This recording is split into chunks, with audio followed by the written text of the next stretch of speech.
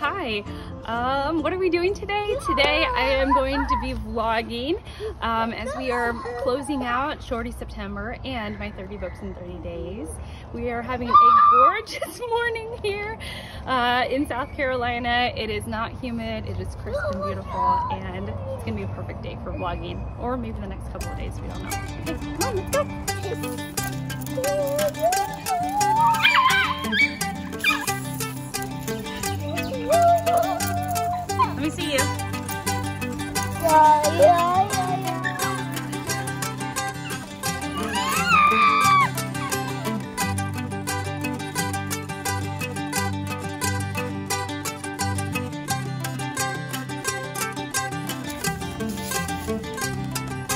Oh, Harry.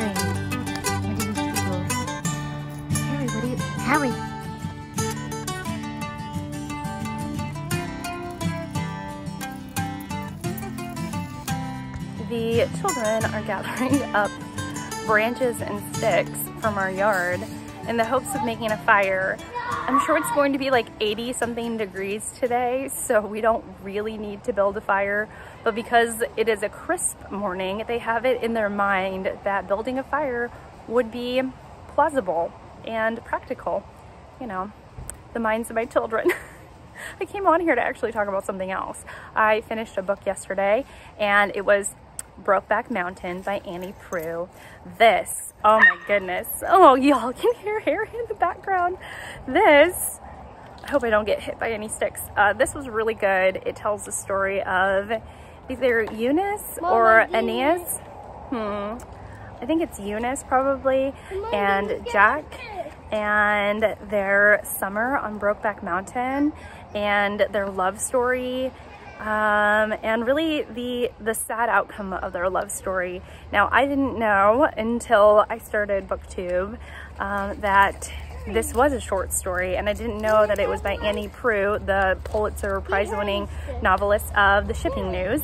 And I really love this. I thought her language, the language that she used in this, both to describe the Montana setting and the outdoors and the sort of ranch life was gorgeous, but also the way that she gave her characters accents and the way that they spoke to one another was really, really interesting and really good. Um, I could see where she shines in her writing and in her language, even with this tiny little thing. This is a short story, I believe, that was bound up in a single volume. I've seen these around. Um, I've seen copies of this book like at my Goodwill, and so, you know, they pop up. So I don't actually know if it was originally published in a single bind up or if it was a short story first and then it was eventually published as a single bind up. So I don't know. But anyways, regardless, a fantastic, fabulous, amazing, incredible read. And I loved it. Really, really loved it.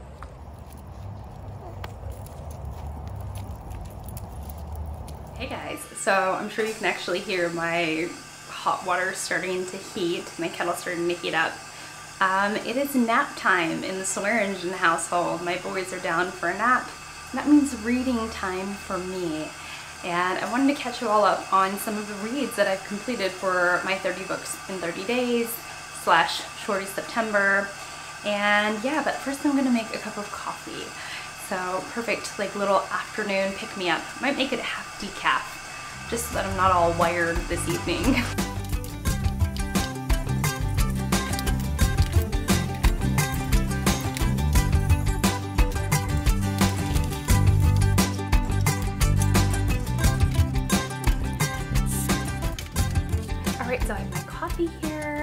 kids are napping, which is amazing. And I wanted to catch you up on some of the books that I have finished during this project.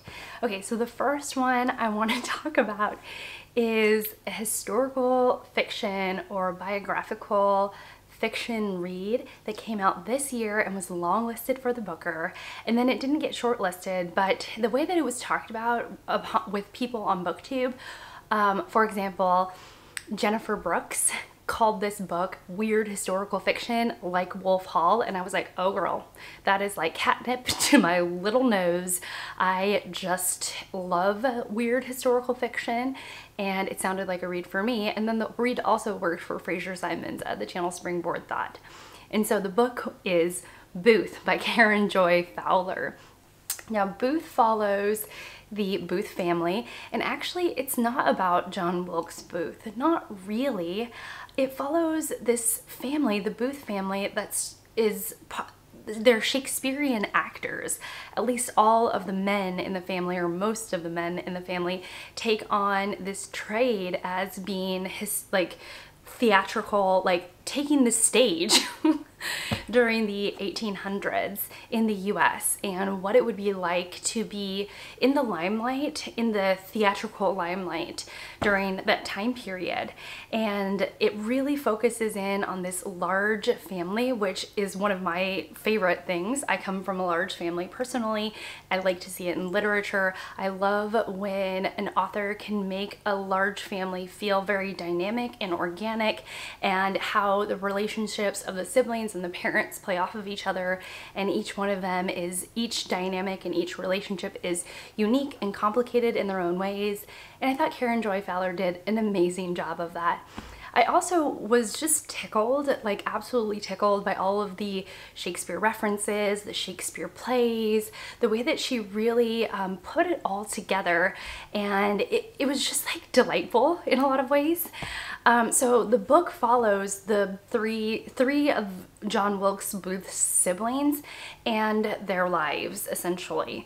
And really John is in the background um, and it's only talked about in reference in reference to the siblings. So this book is really interesting because it focuses on the effects of alcohol abuse throughout the entire family and the way that a family can shape um, the way that uh, a family is organized um, when the central figure, the patriarch, has uh, some issues that they are not dealing with very healthily.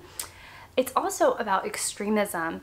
And though extremism isn't necessarily at the heart of the novel, so in some ways it is, in some ways it's not, but it's a way, it's how the a, a family deals with and can see a person, a member in their family, kind of take a different path than the family values and a path that is not good, a path that is detrimental to um, to the person and their health. But in a lot of ways, it was all about just being a big family and the awkward moments during this time period.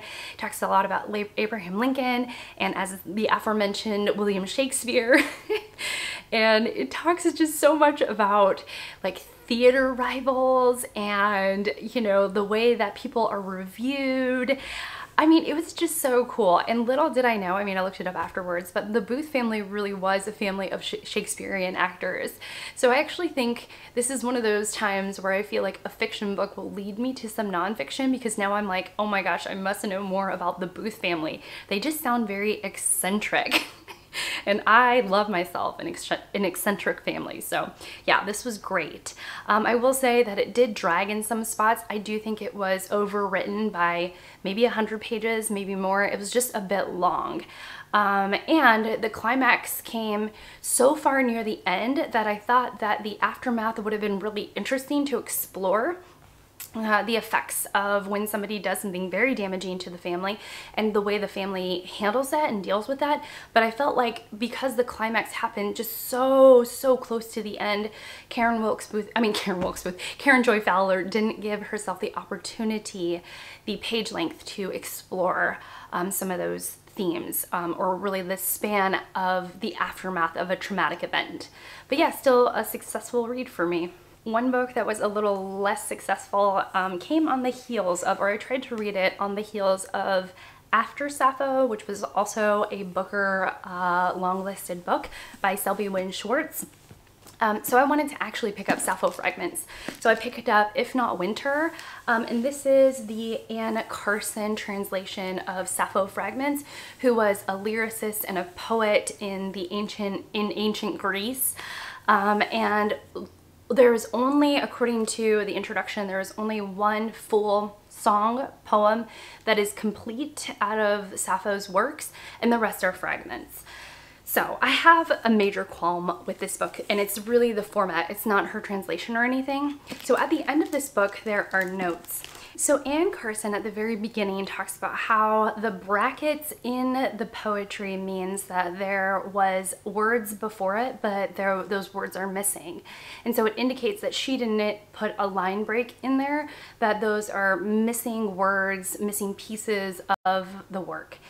And then at the end, she there are these notes, the ones that I will probably be showing you right now, about um, how she translated, how she went about translating the words. The thing is, is that within the poetry, there is no footnotes to indicate that there is a note about the translation. Essentially, the reader's experience would be this. Um, one would read the introduction, which talks about Sappho and a little bit about how Anne Carson went about translating, very loosely though. And then one would read all the fra Sappho fragments.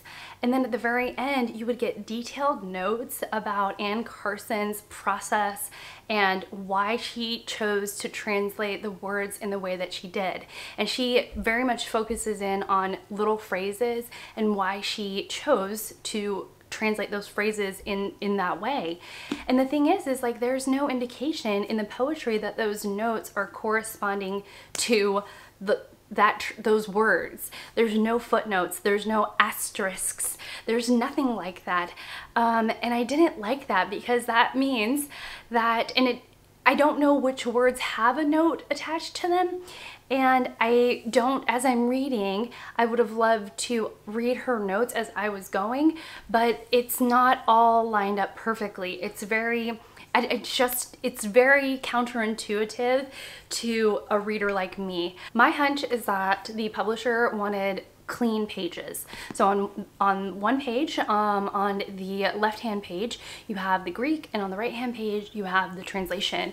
And there aren't any footnotes, there isn't any of the one above the number to indicate that there is a note attached to it um, because it that would clutter the text. And then there's no, um, you know, little footnote area that has all of her writings in it to talk about her approach. But I think it's because that would have cluttered up the look of the book.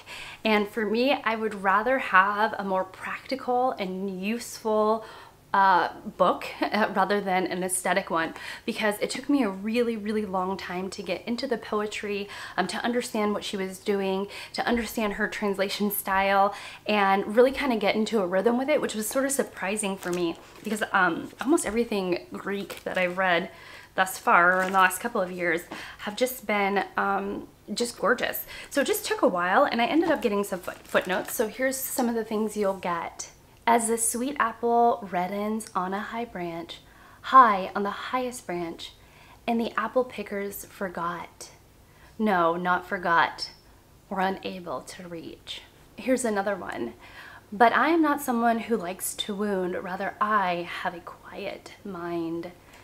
So it, it's beautiful. Um, it's fragmented, so you're not getting a whole satisfactory poem or even story or even through line thought, but there is a lot about love and festivities and beauty and little observations on life. And I am just so sad that these are uh, fragments and not whole pieces, which is not anyone's fault. I mean, just the fault of time, I suppose.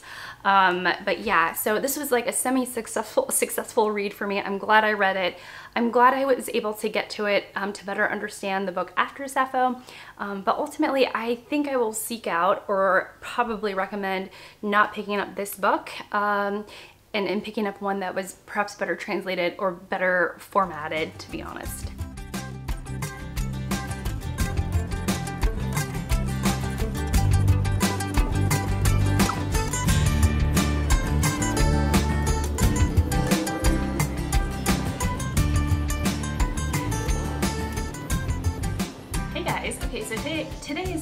Tuesday and I, fig I figured I would sort of finish this vlog up by telling you the last, the dregs of the books that I have missed up until now. It is the 27th and I have, I've read 27 books and I still haven't talked about all of them. so I figured to finish out this vlog, I'd actually do it in the in the space, in the sort of Shelly space and get ready and it be kind of casual. You're gonna hear sounds in the background because my younger son, Didi, is playing games. And so we're just going with it. You'll hear Harry. I mean, nothing really new or different. I mean, sometimes I'll kind of quiet D down or if he's playing games on the iPad, I'll be like, look, you need to put on headphones. But today, I'm just like, you know what? We're doing this casual. And I really do have to get ready for going out because I have a meeting, the ominous nondescript meeting to go to in um, about, I don't know, I have to leave in about 45 minutes. So I have plenty of time, but you know, just saying. Gracious me. Okay, so one book that I keep on forgetting to talk to you all about is, and I was going to put it in the video about books I have been reading that are outside of my comfort zone, and then I forgot because it was the second book that I finished, and I just haven't thought about it like too much. I mean, it's not it's not the fault of the story. Um, it's more of like I've just been reading so much and I didn't talk about it right away. So I just have been kind of snubbing it in regards to talking about it. But anyways, it's An Elderly Lady is Up to No Good by Helene Tursten, translated from the Swedish into English uh, by Marlaine Delargy. Um, and this is a murder mystery, which is not necessarily my comfort zone. It's not necessarily the thing that I um, gravitate towards, but it was really cute. Um, it was made up of short stories and the first couple of stories worked in the same way. Um, and the elderly lady, she uses her elderliness to kind of get away with murder, literally. Um, it's funny, it's not, it's not about like it being too deep. The, the characters are flat and it's more about the plot and the sort of outrageousness of the story and in that way it makes it charming and funny and entertaining. But anyways, this the short stories work in a very similar way and then as soon as I kind of figured out the formula, the stories changed. It, they were, there was a little change up and I really liked that. I was like, huh, because at, at one point I was like, are all these stories gonna work in the exact same way? But they don't. And that was a nice surprise. And it was charming, it was short, it was funny, it was about murder, which is not something I normally read, and I liked it. I definitely liked it. Alright, so let's stick with the translated novel theme. I finally read Convenience Store Woman by Sayaka Mur Murata. Sayaka Murata, I believe it's her name. And it was translated by uh, Ginny Tapley Takemori. So, This was great. This, okay, um, I shouldn't just start off with like me, my feelings about it. So this tells the story of a, let's see, what is her name? That's right. Okay, so this tells the story of Kiko and she is a little bit different. She she approaches the world a little bit differently. I think that we would consider her neurodivergent at this point, but it never says it or states it in the book anywhere, but clearly there is some neurological differences for Kiko. And so what she does is that she has had this part-time job at a convenience store for years. And there are other people in her life, um, friends, family members, that just want her to be normal and she ends up trying to take the normal path and that is where the conflict arises for her. Um, and, and it was really interesting. I really enjoyed the character of Kiko. I thought she was incredibly charming and very, very sweet. And I thought it said a lot about routines and simple routines and the things that we have in our life to make us feel stable, even if we aren't neurodivergent or if we don't identify with necessarily Kiko. But I think that there is so much to say for stability in our lives, even if other people don't understand it. Um, and I, I just really, really liked that. Um, I thought this was just so well done. It didn't overstay its welcome. It was charming and sweet and funny at points. And I loved spending time with the main character. There was just, I just I almost can't like explain why. She was just cute and funny. um, I also loved that this is set in Japan and I have been to Japan. I am a part, I'm quarter Japanese. Um, so some of the cultural references just felt very homey to me. Um, and yeah, so I just, I just really enjoyed that. But yeah, so very successful. I'm really just slapping on the makeup here today. Not being very precise at all. Maybe I should slow it down a little bit. I've been really loving sparkly glitter for my eyes and so I have this sparkly glitter. It's literally putting a shine in my life. Um, so, so I want to use this, but I don't know what to match it with, and I don't want a like super intense eye look. So we'll see what I do. Let's, um, yeah, I think I'll just do something really light and kind of just glimmery and shimmery. So let's get that done. So another book that I read was Deborah Levy's The Man Who Saw Everything, which is about a very self-centered main character named Saul Bellow. And it starts off with him getting hit by a car on his bicycle as he is about to meet his girlfriend for a photo shoot to do the classic Beatles photo shoot. I can't remember, like, I'll, I'll show you. Um, it's, it's there. I'll pop it in somewhere. Um, and they're going to recreate that. And oh gracious, I think it's getting too loud. There's a point where it's just like, it's, it's a little bit too much, y'all. All right, so Saul Bellow is a historian and it is set in 1988. I don't even know where I left off. I think I was talking about taking a photograph and where it started.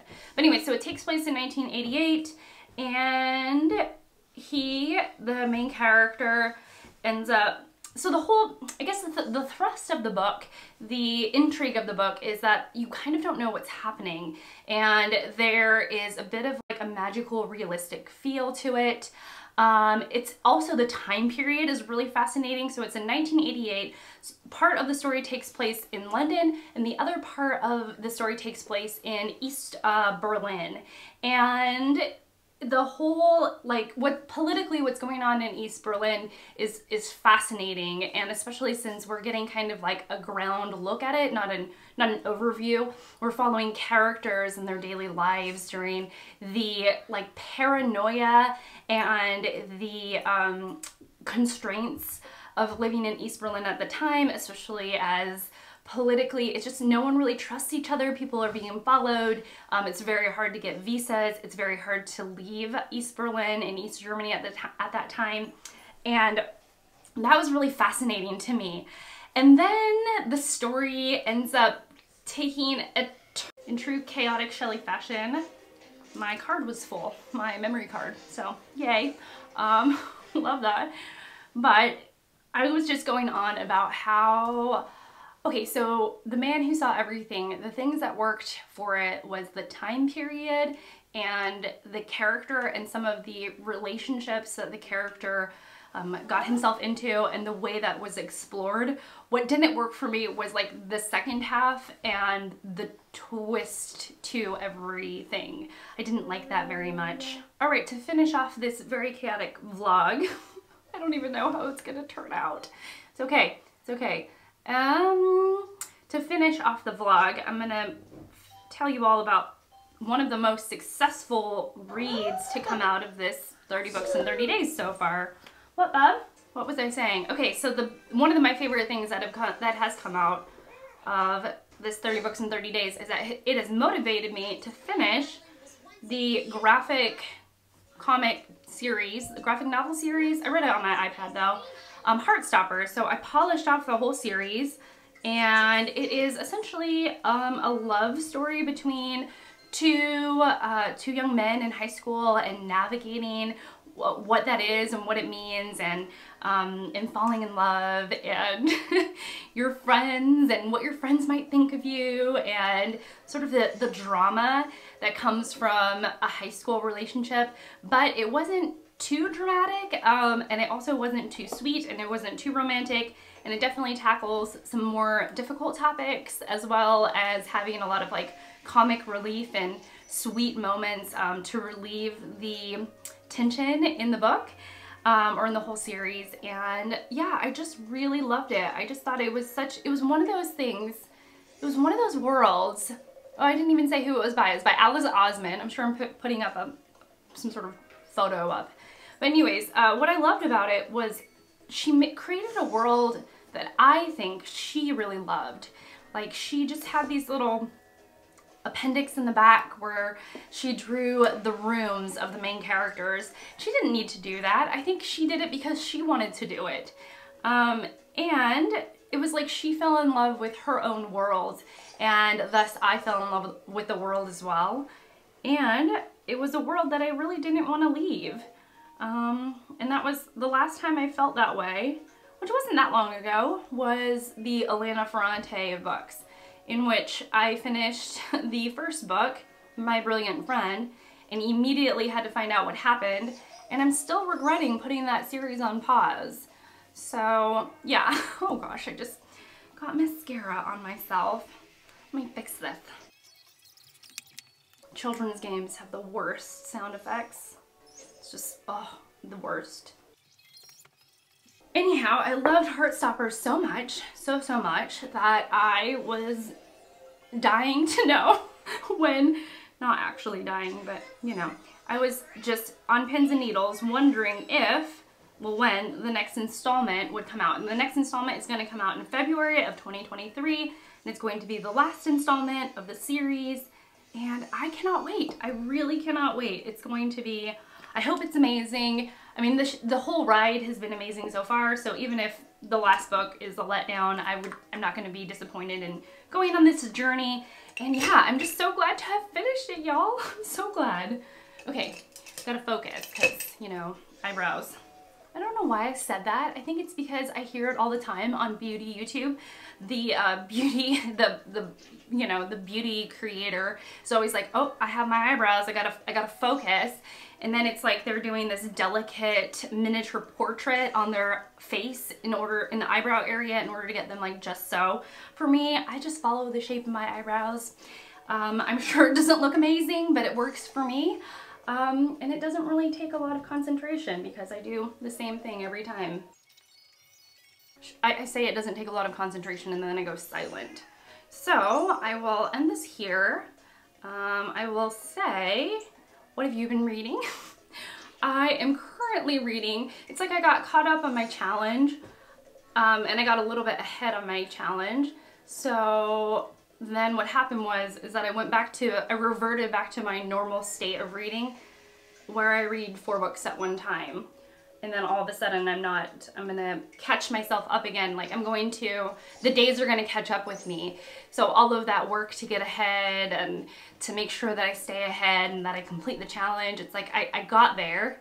Then I was like, hooray, I'm gonna start four relatively long books. And I feel like I'm gonna get behind again, but that's all right. That's all right. I feel like 27 books in 27 days. Well, it was 27 books in 25 days was pretty, pretty darn good. And so I'm not to put a ton of pressure on myself, though I really would like to finish the 30, the 30 bucks. Um, but yeah, that's it. So tell me, what have you been reading? Um, has it been as chaotic as, as my reads, you know, as all over the place as my reads? I would love to know that. Um, and you know, if it's great, I want to know what, what's great that you've been reading. If it's terrible, let me know so I can avoid it. Unless we have opposite tastes, like me and Scott from Gunpowder Fiction and Plot. Um, when he says a book is horrible, I'm like, yes, I'm gonna, I'm gonna love that book. Though we've been finding a lot of common ground lately. I'm gonna go because at this point I'm just rambling. But yeah, thank you so much for watching. Thank you so much for being here. And I will see you all in my next one. Bye guys thank you